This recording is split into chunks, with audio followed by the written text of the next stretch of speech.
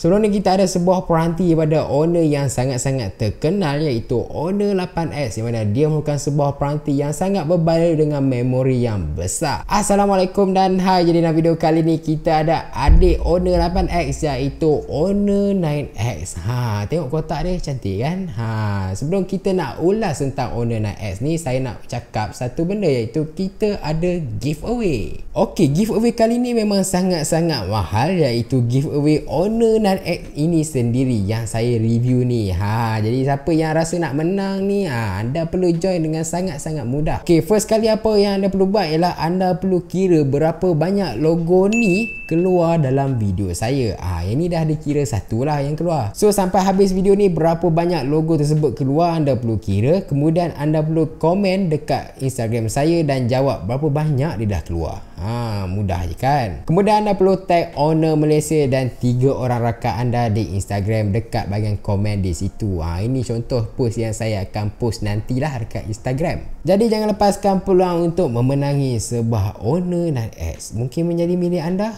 Ha, kalau tak cuba macam mana nak menang kan? Jadi tanpa melengahkan masa, jom kita mula review owner 9X.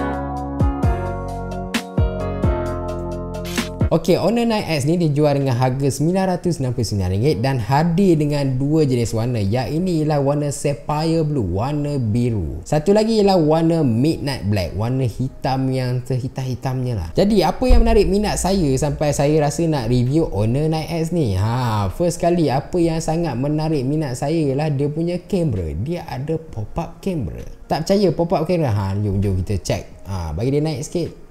Ah tengok bagi dia turun sikit. Ah macam tu ah dia punya pop up camera. So bila dia ada pop up camera, bahagian depan dia ni full screen tau. Tak ada sebarang notch. Dan tak lupa juga dia menggunakan chipset Kirin 710F yang better untuk gaming. Ha itulah spesifikasi asas sikit. Untuk pengetahuan anda kali ni dia hadir dengan satu jenis varian sahaja iaitu 6GB RAM 128GB memori. Dah habis tentang spesifikasi kita tengok dari segi rekaan. Kalau tengok pada jauh rekaan dia simple tau. Nampak warna biru je. Tapi kalau anda zoom anda tengok dekat sikit anda akan nampak dia ada bentuk dynamic X. Bentuk bentuk dia seakan-akan X yang bergerak-gerak daripada bawah ke atas atas ke bawah. Ha dia nampak menarik lah kalau tengok pada dekat. Dia tak mudah bosan lah cerita dia. Dan rekaan dengan pop-up kamera yang agak rare sekarang untuk peranti kelas pertengahan saya pernah review sebelum ni iaitu Mi 90 itu pun ada pop-up kamera tapi harga dia di atas RM1000 lah. Yang ini dia bawah RM1000. Ok lah ada pop-up kamera kan? Jadi dekat bahagian atas kita ada mic kita ada slot SIM yang menyokong satu SIM dengan satu slot memory card ataupun dua SIM serentak. Dan juga kita ada pop-up kamera 16 megapiksel. Dekat bahagian kiri kita tak ada sebarang port. Dekat bahagian bawah pula kita ada headphone jack, kita ada mic, kita ada port USB type C dan juga speaker. Dekat bahagian kanan kita ada butang kawal bunyi dan juga butang kuasa. Dekat bahagian belakang kita ada triple camera setup dengan 48 megapiksel sebagai kamera utama dan juga flash. Tak lupa juga kita ada fingerprint sensor di bahagian belakang dengan rekaan seakan kaca. Dekat bahagian depan kita ada full screen 6.59 inch inci IPS LCD display tanpa sebarang notch. Okey, dari segi prestasi Honor 9X ni saya dah guna dalam masa seminggu dua. Apa yang saya boleh katakan ialah dia punya multitasking tu memang superb. Setakat ni saya multitasking game berat ke, game ringan ke, aplikasi ringan ke, memang tak ada masalah dia masih lagi simpan dekat background. Bagi saya memang puas hati habis untuk anda yang suka buat kerja-kerja berat dekat sebuah smartphone. Dan tak lupa juga kalau anda risau ada ke Google kat sini macam mana nak download YouTube nanti? Ha untuk owner NAS anda tak perlu risau. Semuanya GMS Google Mobile Service masih lagi ada. So untuk gaming saya sebenarnya dah buat satu video khas untuk gaming owner NAS anda boleh tengok nanti yang mana saya akan rilisnya cuma apa yang saya nak cakap ialah saya dah main Mobile Legend dekat owner NAS ni. Apa yang saya boleh cakap dia adalah dia ada ultra graphic setting yang sangat-sangat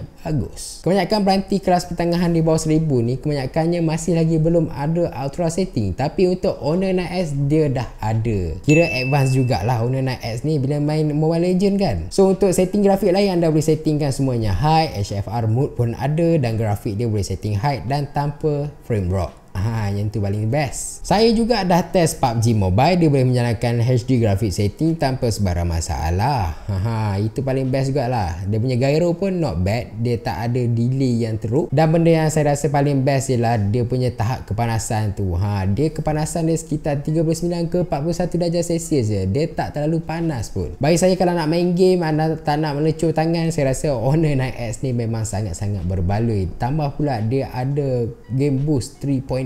Ha, tu dia. Dari segi bateri, dia ada 4000 mAh. Bagi saya 4000 mAh ni dah cukup lah untuk kegunaan seharian. Kalau anda jenis guna untuk media sosial, saya rasa tak ada masalah untuk bertahan selama sehari. Masa mengecas dia adalah sekitar 2 jam, 2 jam lebih sedikit macam tu. Dan dia menggunakan USB Type-C. Itu yang paling best. Itu yang paling latest untuk sebuah peranti pertengahan tahun 2019 ataupun tahun 2020. Saya dah main PUBG Mobile dekat sini guna grafik paling tinggi iaitu HD graphic setting. Penurunan bateri dia ialah sekitar 15% untuk masa 1 jam. Bagi saya itu normal lah untuk peranti kelas pertengahan. Okey, untuk kamera dia ada triple camera setup. Kamera utamanya ialah 48 megapixel, kemudian kita ada 8 megapixel untuk wide angle dan juga 2 megapixel untuk depth sensor. Untuk tangkapan biasa memang cantik, memang sharp. Tambah-tambah anda guna 48 megapixel lagi sharp, memang cantik. Cuma pencahayaan anda tu perlu cun lah. Kalau waktu pagi tengah hari memang tak ada masalah lah. Untuk wide angle memang okey. Tambah pula dia ada distortion correction. Tak lupa juga dia ada AI mode untuk kameranya. Ha,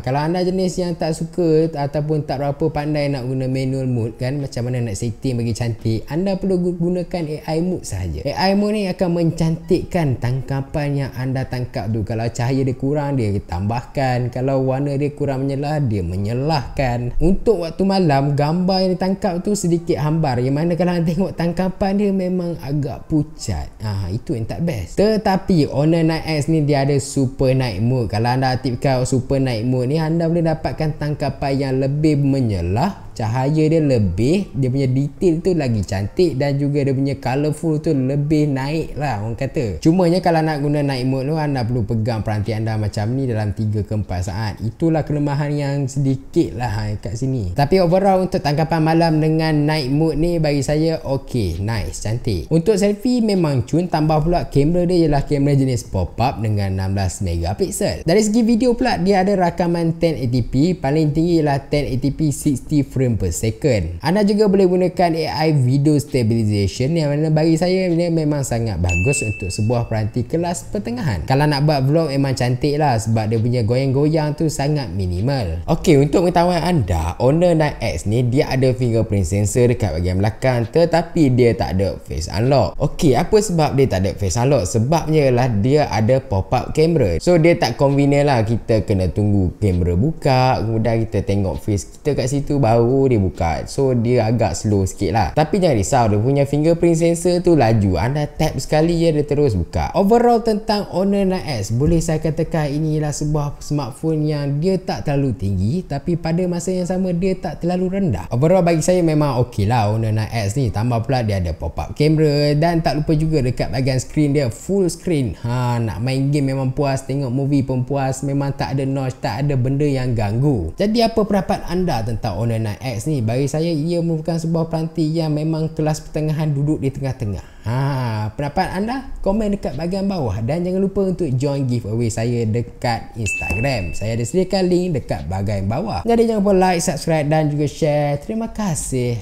Jumpa lagi.